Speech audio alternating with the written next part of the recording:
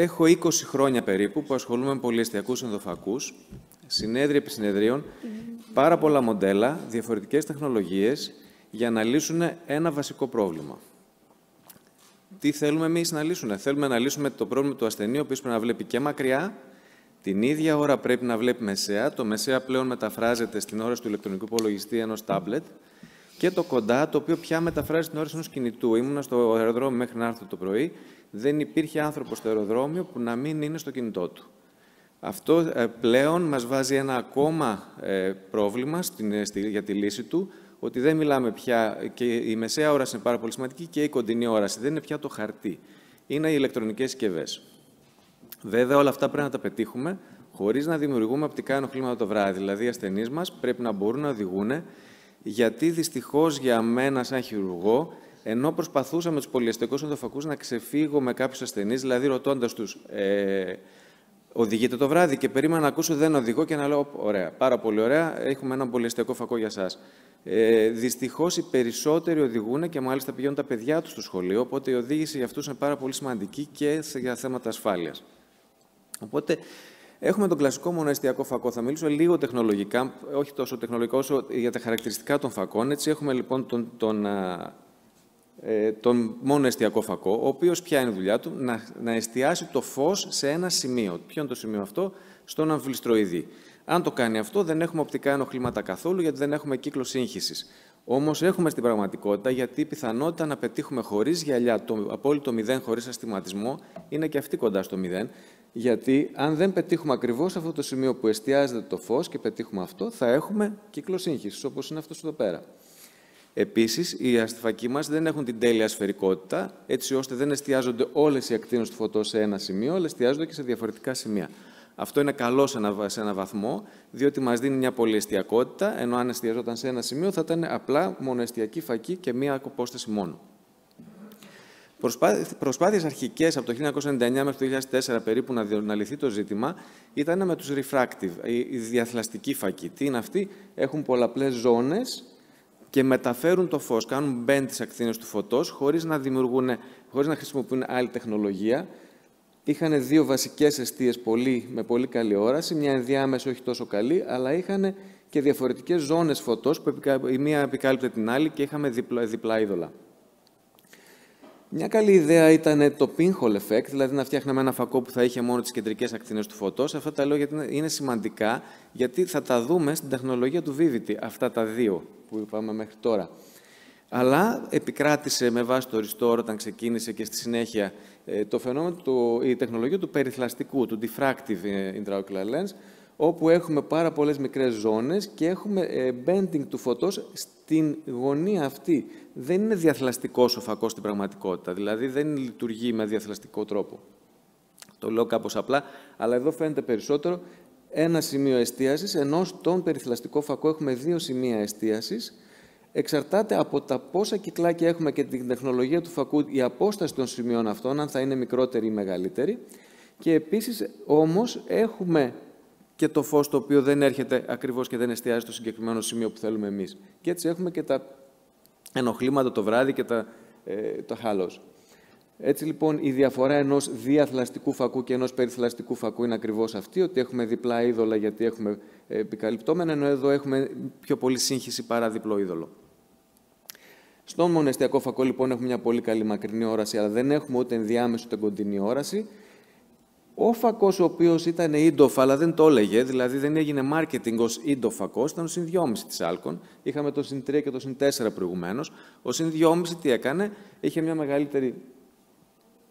Προσπαθούσε να μειώσει τα ενοχλήματα που δημιουργούν οι περιθλαστικοί φακοί γενικώς, που είναι το χάλο, τα γκλέρ και το, το φλερ, και προσπαθούσε να μειώσει και τα άλλα ενοχλήματα που δημιουργούν, δηλαδή αυτή είναι η οδήγηση στη νύχτα με διάφορους τύπους πολυεστιακών φακών και το μειωμένο contrast sensitivity που δημιουργούν, γιατί ακριβώς υπάρχει αυτή η σύγχυση γύρω από το είδωλο, το οποίο το, το καθαρό είδωλο. Έτσι λοιπόν ο Άκρισοφ σιγά σιγά πήγε από το συν 4 πολλά κυκλάκια στα λιγότερα κυκλάκια και μεγαλύτερη οπτική ζώνη στο συν 3. Στη συνέχεια ο συν 2,5 που είπαμε, που για μένα ήταν ο πρώτος σύντοβ, γιατί τι έκανε, είχε μεγάλη οπτική ζώνη στο κέντρο, είχε λίγα κυκλάκια, είχε κάποιο διαθλαστικό, ε, κάποια διαθλαστική κατασκευή και έτσι είχαμε καλή, πολύ καλύτερη μακρινή όραση, αλλά δεν είχαμε κοντινή. Ε, προχωρήσαμε στη συνέχεια σε μια νέα τεχνολογία, στην οποία θυμάστε αυτό που σας είπα, ότι όσο περισσότερα κυκλάκια, τόσο πιο καλή κοντινή όραση, όσο μικρότερα, λιγότερα κυκλάκια, τόσο, λιγότερη, τόσο περισσότερη μάκρινη όραση. Συνδυάζονται στις δύο τεχνολογίες. Έχουμε και τη μεσαία όραση, τον τρίπλο εστιακό φακό, εν προκειμένου τον Panoptix. Έτσι λοιπόν προχωρήσαμε στις 15 ζώνες του Panoptix, αλλά με διαφορετική τεχνολογία.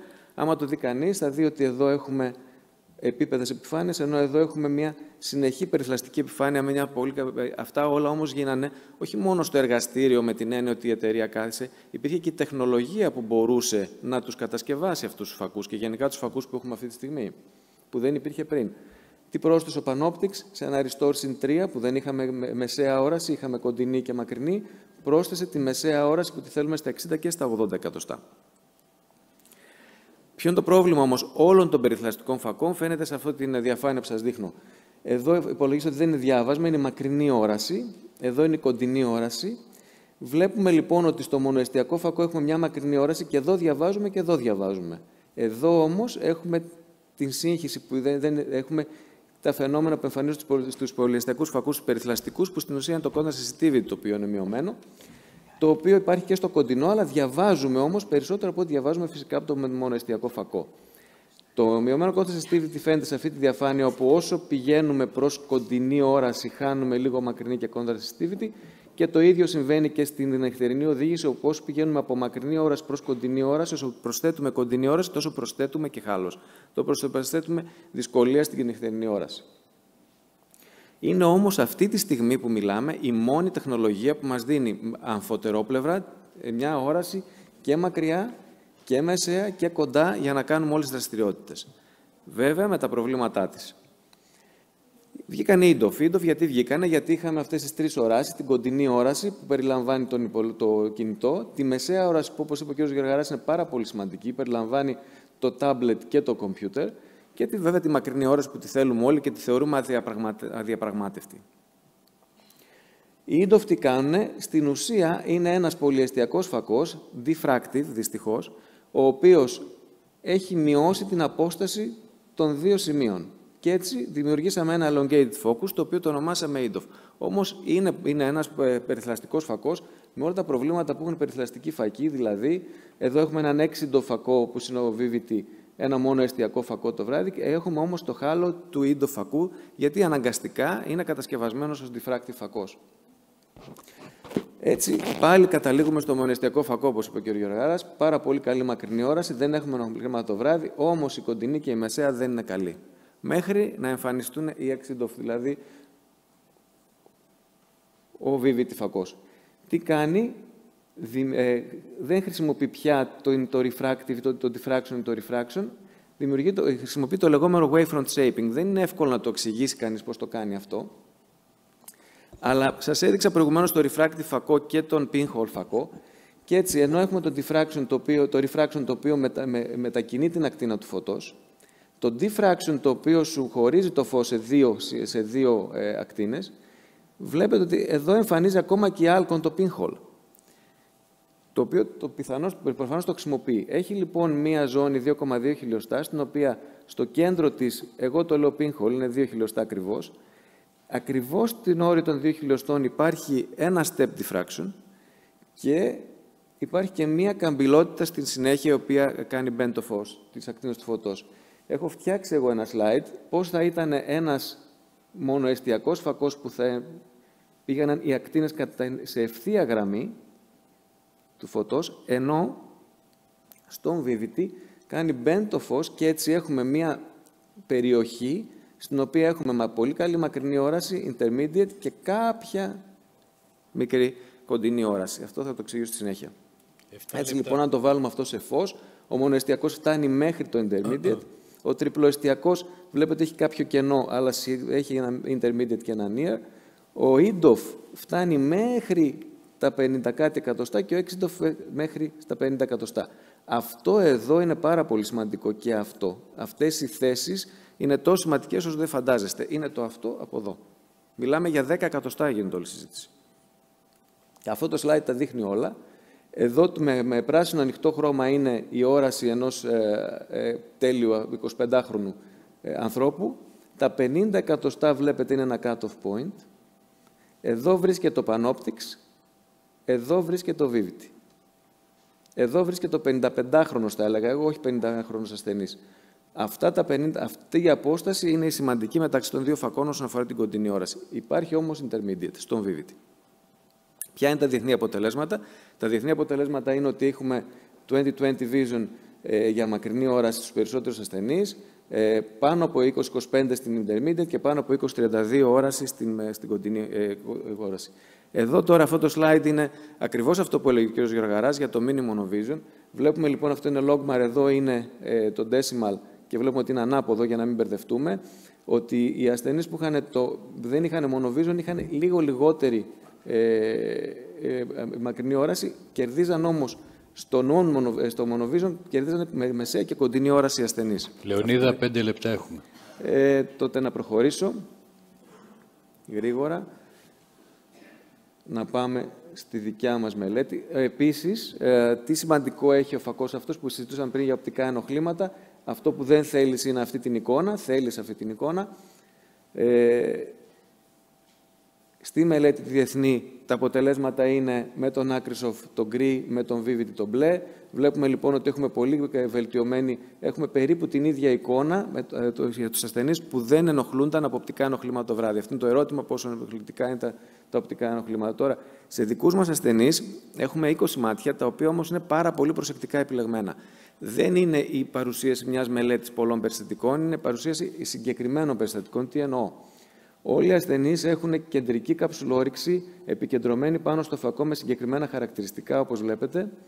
Όλοι οι ασθενείς έχουν κάτω από μισή διοπτρία στιγματισμό ή κάτω από μισή διοπτρία ε, σφαίρωμα, έτσι ώστε να, να βρούμε τα χαρακτηριστικά του φακού και να μην αυτό γίνει σκιού, δηλαδή να μην επηρεαστεί από, τα, από την δυνότητα του χειρουργού. Έτσι λοιπόν είπαμε την επικέντρωση, βλέπουμε ότι δεν είναι επικεντρωμένο πάντα στο, στην κόρη, αλλά στον φακό η καψουλόρυξη.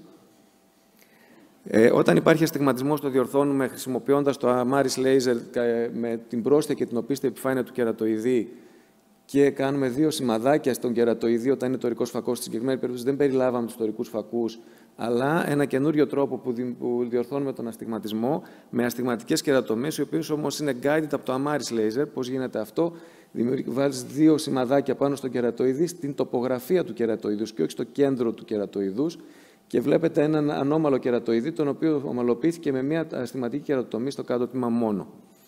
Έτσι λοιπόν περιλάβαμε τέτοιου τύπου ασθενείς. Έχουμε 20 ασθενείς. Βλέπουμε, εδώ βλέπουμε το predictability της ε, βιομετρίας. Ε, είναι στο simply 0,25 όταν χρησιμοποιήσουμε 19,235 στη χόλα T2, την, ε, της αρκετή στη χόλα T2. Ε, εδώ είναι περάει το κάθε μάτι, τι οπτική οξύτητα είχε, βλέπουμε ότι πάνω από 20-20 οι περισσότεροι ασθενείς, οι τέσσερις που είναι εδώ σε αυτό το σημείο, στο 20-40, είναι δύο ασθενείς οι οποίοι είχαν στο ένα τους μάτι, αυτά είναι μάτια, δύο μάτια που ήταν μείον ένα από το monovision και δύο μάτια που ήταν μείον ένα κύλινδρο, που είναι πάρα πολύ σημαντικό σε αυτό το φακό. Ποιο είναι το πιο σημαντικό για μένα, γιατί όπως είπε ο κ. Γεργαράς, φοβόμαστε πάντα εμείς τόσα χρόνια όσο ασχολούμαστε με τους πολυεστιακούς ενδοφακούς, τι ώρα θα πιάσει ο ασθενής μας, τι να μπορούμε να υποσχεθούμε. Και μας ενδιαφέρει ακόμα και με γυαλιά. Γιατί ξέρουμε πολύ καλά ότι στους περιθλαστικού ενδοφακού και με γυαλιά ο ασθενής μπορεί να μην βλέπει καλά. Οπότε όλοι οι ασθενείς είναι πάνω από 2020 και το εκπληκτικό είναι ότι είχαμε 20 δέκατα και 20 12.5 με γυαλιά, με μικρό, μικρή διόρθωση μιλάμε, μισή, δύο, τρία, αλλά μπορώ να το υποσχεθώ πια αυτό. Επίσης, στην intermediate πάνω από το predicted, αυτό είναι πόσο θα έπρεπε να βλέπει ένας ασθενής με μονοεστιακό φακό, πόσο βλέπει με το VVT κόκκινη μπάρα στην κοντινή αντίστοιχα. Όλοι οι ασθενείς είχαν συγγνώμη, πάνω από 12 10, μάλλον μέσω όρο 12 10, το περνάω αυτό το slide για να πάμε σε ένα πάρα πολύ σημαντικό. Τι μπορώ να υποσχεθώ, δηλαδή, η μέση όρη όταν τους ακούω σε μια παρουσίαση πολυστιακών ενδοφακών είναι πάρα πολύ ωραία. 80% των ασθενών βλέπουν κοντά. Οι υπόλοιποι 20, γιατί όταν θα βρεθώ απέναντι στον φακό, στον ασθενή, εγώ θα δω αυτό που ακριβώς ο κ. Γαργάς. Οι υπόλοιποι 20 τι κάνανε. Εδώ τι μπορώ να υποσχεθώ με ένα βίβητη; Σε αυτούς τους 10 ασθενείς, 20 μάτια. Μπορώ να υποσχεθώ ότι θα βλέπουν από εδώ σε τάμπλετ και θα μπορούν να διαβάζουν με maximum speed, αυτό είναι το M Read σε τάμπλετ, με μέγιστη ταχύτητα δηλαδή, ξεκινάει και πιάνει μια μέγιστη ταχύτητα και πού πέφτει η οπτική του οξύτητα. Όλοι οι ασθενείς λοιπόν μπορούν να δουν γραμματοσυρά τύπου 12 με τη μέγιστη ταχύτητα, ενώ μπορούν να αναγνωρίσουν χωρίς σημαντικά λάθη πάνω από 5,9. Ο ασθενής δεν μετράει αυτό, είχε μείον ένα και στα δύο μάτια και έγινε λέζι στη συνέχεια. Επίσης, δύο λεπτά θέλω ακόμα. Επίσης, έχουμε το VF14, είναι το questionnaire για το κατά πόσο είναι ανεξάρτητοι από τα γυαλιά τους οι ασθενείς, όχι πόσο ευχαριστημένοι είναι. Αυτό είναι πολύ δύσκολο να φτάσει κανείς, το, έχει έξι στάδια, με το, με το moderate να είναι αυτό, μέχρι moderate να είναι αυτό που θέλουμε. Όλοι οι ασθενείς μας λοιπόν ήταν μέχρι, moderate, μέχρι mild impairment, δηλαδή μπορούσαν να κάνουν τα περισσότερα πράγματα. Στις ερωτήσεις που είναι για την πολύ κοντινή όραση, που δεν είναι φτιαγμένος ο φακός αυτός, οι απαντήσεις ήταν καλές και σε αυτήν, αλλά όταν τις έβγαζες τις απαντήσεις αυτές, είχες ε, no visual impairment, minimal visual impairment στα, στην κοντινή όραση στα, ε, στο 80% των αστερών και στο 100% mild. Τελειώνω λοιπόν. Τι μπορώ να υποσχεθώ λοιπόν με αυτό το φακό; Μπορώ να υποσχεθώ ότι με γυαλιά ο ασθενή μου θα βλέπει. Μπορώ να υποσχεθώ ότι χωρίς γυαλιά θα έχει μια πάρα πολύ ικανοποιητική όραση. Ότι θα διαβάζει στο τάμπλετ του, σε τάμπλετ όχι κινητό, στο τάμπλετ του 12 ε, point γραμματοσυρά, ότι, δεν θα, ότι θα μπορεί να διαβάσει ακόμα και 8 γραμματοσυρά χωρίς σημαντικά ε, προβλήματα και ότι ε, θα έχει έστω και, και moderate impairment πάνω από το 100% των ασθενών. Ε, σας ευχαριστώ και πάλι και θεωρώ ότι ε, είναι ένα στάδιο και ένα, μια ακόμα υπηρεσία που μπορούμε να προσφέρουμε στον ασθενή μας. Ευχαριστώ.